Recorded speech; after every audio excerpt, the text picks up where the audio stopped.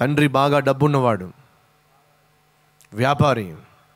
ఎంత డబ్బు కావాలో అంత డబ్బు ఆ కుర్రవాడికి దొరుకుతుంది. ఇష్టానుసారంగా జీవించడం మొదలు పెట్టాడు టీనేజ్లోకి వచ్చినప్పుడే యవన ప్రాయంలోనే శరీర ఇచ్ఛలు నెరవేర్చుకోవడానికి విచ్చలవిడిగా జీవించడం మొదలు పెట్టేశాడు అలా విచ్చలవిడిగా జీవించి తన శరీరాన్ని పాడు చేసుకొని ఆఖరికి తండ్రికి దూరమై ఇంటికి దూరమై బ్రతుకును నాశనం చేసుకుని దారి తప్పి జీవిస్తున్నప్పుడట ఒక ఇంట్లో ప్రార్థన జరుగుతుందట. ఆ ఇంటిలో క్రీస్తు ఉన్నాడట. ఆ క్రీస్తు ఉన్న ఇంటిలో ప్రార్థన జరుగుతుందట. ఆ ప్రార్థనకట దారి తప్పి పతనమైపోయిన ఒక యవనస్తుణ్ణి ఎవరో తీసుకుని వెళ్ళారంట. ఆ ఇంట్లో అందరూ కలిసి ప్రార్థన చేస్తున్నప్పుడు ఆ కుర్రవాడు నెమ్మదిగా ఆ ఇంట్లోకి వచ్చి వాళ్ళతో పాటు నెమ్మదిగా వాళ్ళు కూర్చున్నట్టుగానే మోకాల మీద కూర్చున్నాడట. వాళ్ళు కలిసి ప్రార్థన చేస్తున్నప్పుడు కలిసి పాటలు పాడుతున్నప్పుడు ఆ కుర్రవాడికి అర్థమైపోయిందట. ఏమిటో తెలుసా? నా జీవితంలో నేను ఎప్పుడూ పొందనటువంటి ఆనందము ఎప్పుడూ పొందనటువంటి నెమ్మది ఎప్పుడూ పొందనటువంటి సంతోషము ఈ గృహములో ఎలా సాధ్యమవుతుంది? ఇంత ఆనందము ఇంత సంతోషము ఇంత సమాధానము ఇంత నెమ్మది నేను ఎప్పుడు చూడలేదు.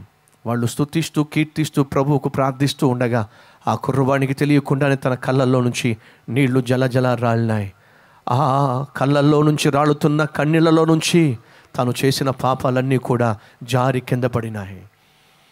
అతని హృదయం మారిపోయింది. ఆ ఇంటిలో క్రీస్తు ఉన్నాడు ఆ ఇంటిలో ప్రార్థన ఉంది ఆ ఇంటిలో క్రీస్తును ఆరాధించేవారు ఉన్నారు వారందరూ కలిసి ఆరాధిస్తున్నప్పుడు ఈ కుర్రవాడి యొక్క పాపపు పొడలన్నీ కూడా ఊడి కింద పడినాయి.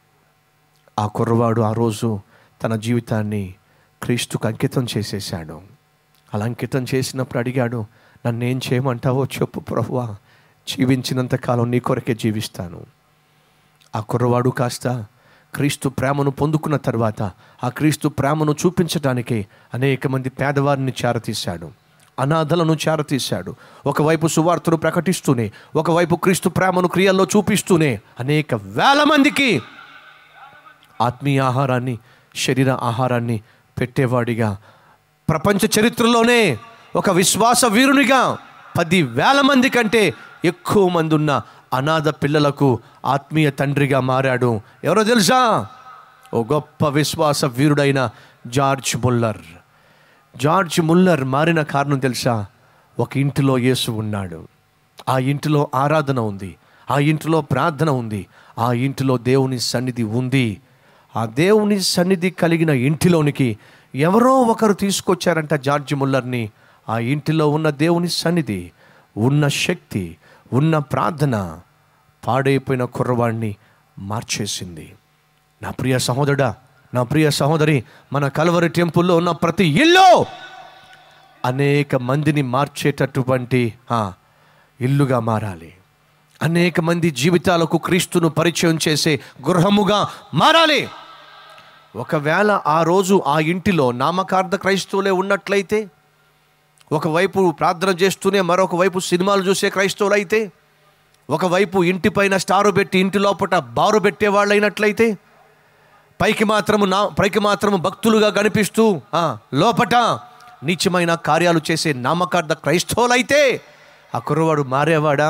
అడుగుతున్నా ఒకవేళ దారి తప్పిన ఒక కుర్రవాడు మీ ఇంటిలోనికి వస్తే పాడైపోతున్న పతనం అయిపోతున్న మీ పక్కింటి అబ్బాయి పాడైపోతున్న పతనం అయిపోతున్న యవన ప్రాయంలో నశించిపోతున్న నాశనం అయిపోతున్న యవన ఇచ్చలకు బానిస అయిపోతున్న ఒక అమ్మాయి మీ ఇంటిలోనికి వస్తే మీ ఇంటిలో ఉన్న దేవుని శక్తి మీ ఇంటిలో ఉన్న దేవుని ఆత్మ మీ ఇంటిలో ఉన్న దేవుని ప్రేమ మీ ఇంటిలో ఉన్నటువంటి ప్రార్థన ఆ అమ్మాయిని కానీ ఆ అబ్బాయిని కానీ మార్చగలదంటారా?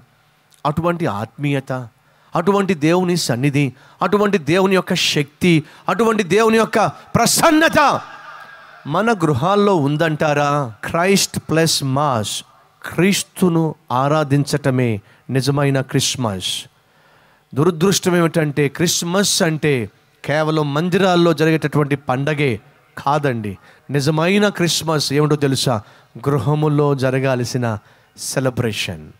ప్రతి ఇంటిలో క్రీస్తు ఆరాధించబడినప్పుడే ప్రతి ఇంటిలో క్రీస్తు మహిమపరచబడినప్పుడే ప్రతి ఇంటిలో కుటుంబంగా మనం కూడుకొని క్రీస్తును పూజించగలిగినప్పుడే అసలు సిసలైన క్రిస్మస్